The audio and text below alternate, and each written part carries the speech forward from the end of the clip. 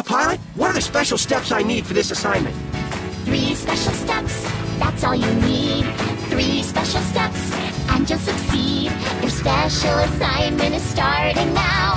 And three special steps will show you how. Step one, find batteries. Step two, put batteries in the flashlight. Step three, turn the flashlight on.